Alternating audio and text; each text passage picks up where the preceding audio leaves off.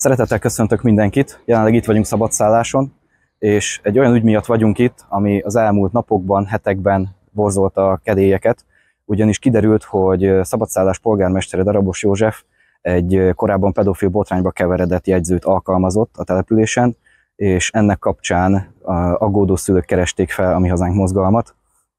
és ezekre szeretnék most reagálni. Egy Mi Hazánk kormány esetén még csak véletlenül se fordulhatna elő ilyesmi, ugyanis nekünk vannak a legerőteljesebb gyermekvédelmi programjaink, többek közt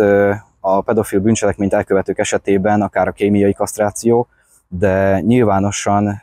egy listán, az interneten is megtalálható lenne azon személyek listája, akik valaha pedofil bűncselekménybe keveredtek, illetve ha még ezt megtoldanánk egy szibériai béraptartással, garantálom, hogy örökre elmenne a kedve azoknak, akik nem egészséges módon próbálnak gyermekekhez közeledni. Véleményem szerint különösen vérlázító, hogy ilyen gazdasági helyzetben a polgármester 3 millió forinttal jutalmazza magát, miközben annak a 3 millió forintnak sokkal jobb helye lenne például a város egészségügyi ellátásában, vagy akár az oktatási rendszerében,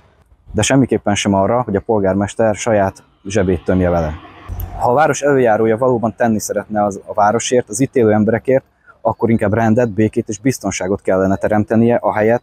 hogy ellenségeket gyűjt a különböző közleményeivel. A saját magát jutalmazó polgármesternek arra kellene törekednie, hogy ne fordulhassanak elő olyan esetek, amelyek a jegyző távozásához is vezetett. Ugyanis ez a városvezetés alapvető feladata lenne. Ehelyett polgármester úr a közleményeivel pusztán a saját szegénységi bizonyítványát próbálja megmagyarázni.